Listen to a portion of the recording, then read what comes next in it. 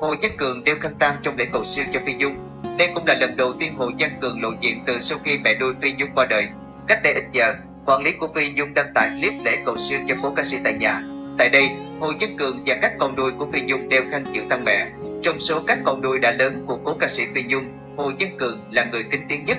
Trong suốt thời gian Phi Nhung nằm viện điều trị Covid-19 cho tới khi cô qua đời, Hồ Văn Cường đều giữ im lặng trước công chúng và truyền thông. Nam ca sĩ nhí chỉ thay ảnh đại diện trên trang cá nhân khi mẹ nuôi qua đời. Quản lý của Phi Nhung từng chia sẻ, Hồ Chí Cường là người ít thể hiện cảm xúc trên Facebook, tính tình thụ động nên khán giả không nên trách cứ cậu bé.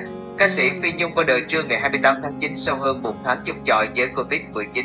Phi Nhung chỉ có một người con gái trục lạc Wendy đang ở Mỹ. Ngoài ra, Phi Nhung có 23 người con nuôi.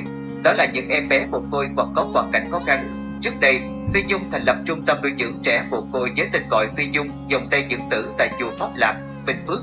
Một số em nhỏ được Phi Nhung nhận nuôi sống cùng nhà với nữ ca sĩ, số còn lại sống ở chùa Pháp, làng Bình Phước và chùa Tăng, thành phố Hồ Chí Minh. Bé gần nhất được Phi Nhung nhận nuôi vào tháng 6 năm 2020 sau khi bị mẹ ruột để lại trước cửa nhà nữ ca sĩ.